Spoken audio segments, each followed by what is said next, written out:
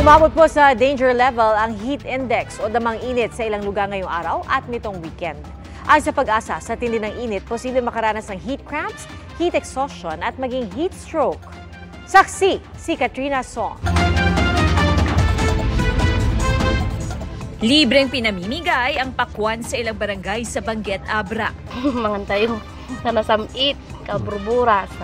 Pwedeng mag-uwi basta't ang kondisyon, maingat na iwan ng mga buto ng pakwan para maitanim ng mga magsasaka.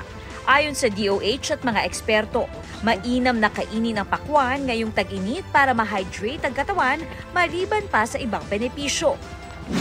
Sa makilala ko Tabato, pampawi sa nararamdamang alinsangan ng ilang residente ang paliligo sa ilog. Masayang nagtampisaw doon ang mga bata. Ganoon din ang mga nagtungo sa Tupad River sa Liliw, Laguna. Tila therapy sa likod ang malakas na agos ng tubig. Kanya-kanyang hanap ng pampawi ng init sa katawan sa gitna pa rin ng umiiral na El Nino at ngayon paghina ng amihan. Itong weekend nga, umabot sa danger level ang heat index o damang init sa Virac, Catanduanes. 47 degrees Celsius ang naitala noong Sabado at 44 degrees Celsius kahapon. 42 degrees Celsius naman ngayong araw sa Bacnotan, La Union. Ang ganyang heat index nasa danger level. Ayon sa pag-asa, posibleng makaranas ng heat cramps at heat exhaustion at maaari ring magka-heat stroke. Hindi pa opisyal na idineklara ang pagsisimula ng tag-init. Easterlies o yung mainit at maalinsangang hangin galing sa Pacific Ocean ang umiihip sa halos buong bansa, kaya asahang magpapatuloy ang mainit na panahon. Pero sabi ng pag-asa, posibleng magparamdam ulit ang amihan mula Miyerkules. Sa gitna niyan, patuloy ang perwisyo ng El Nino sa agrikultura, gaya na lang ng pagkatuyo ng mga tanim ng mais sa Pidig, Ilocos Norte. Ipinapakain na lang ang mga ito sa mga alagang hayop para kahit papaano'y mapakinabangan. Said na raw ang mga deep well at iba pang pinagkukunan ng patubig, kaya humihingi ng tulong sa gobyerno ang mga residente.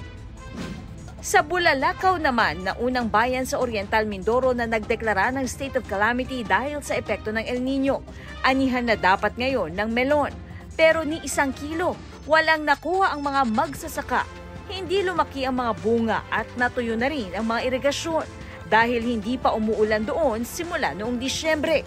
Ayon sa Agriculture Department, umabot na sa 1.75 billion pesos ang halaga ng pinsala ng El Nino sa agrikultura ng bansa. Uh, ginagamit ng analogy ng pag-asa lagi is yung plancha. So, January and February, nakasaksak po yung plancha. So, yung by March, itong buwan na to, tinanggal na sa saksakan yung plancha, pero nandun pa yung init. So, uh, nagdidwindle na, nagwi-weekend na, tapos by June, uh, there's a 55% chance of La Nina, pero hindi pa rin po mag-uulan. So, um, kaya hindi po tayo pwede maging complacent. Kasabay niyan ay ang pagbabantay sa supply ng tubig gaya rito sa Metro Manila. Just in case uh, magkaroon po ng pagkukulang ng supply sa uh, mga dam, meron pong deep wells na naka-standby. If I'm not mistaken, 137 po yan na nakakalat sa buong um, Metro Manila at saka po dun sa Rizal areas. Para sa GMA Integrated News, ako si Katrina Son, ang inyong saksi.